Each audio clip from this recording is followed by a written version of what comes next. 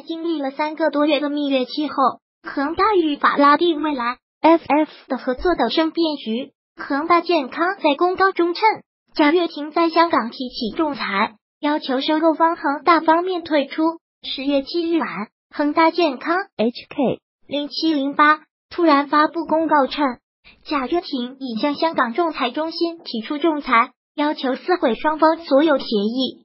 据公告，恒大子公司实营于二零一七年十一月三十日与贾跃亭控制下的 FF Top。公司签订合并与认购协议，恒大在三年内投资二十亿美元，占合资公司百分之四十五股份。按照协议约定，在二零一八年底前支付八亿美元，二零一九年支付六亿美元，二零二零年支付六亿美元。恒大在二零一八年五月二十五日已提前支付完抵二零一八年底前应支付的八亿美元。公告显示，到二零一八年七月。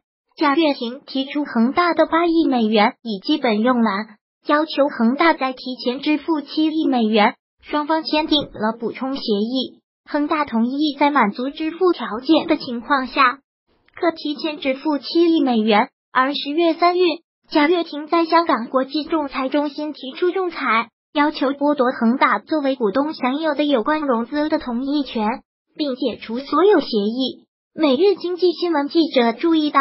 十月四日，恒大健康曾发布公告称，公司股票上午九时起将短暂停止买卖，并刊发有关公司的一项仲裁程序之内幕消息公告。恒大在今日公告中回应态度强硬，称石影已经履行相关协议项下的责任。Smart King 提出仲裁严重伤害了石影及其股东的权益，石影已聘请国际律师团队，将采取一切必要的行动。